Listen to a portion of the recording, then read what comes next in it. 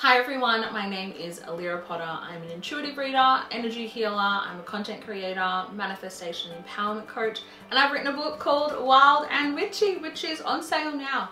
Um, a little bit about the book itself is all about self-love, manifestation, pretty much how I turned my life around from starting with nothing and to just becoming a little bit of a boss babe, which is really cool. So yeah, you can grab your copy now.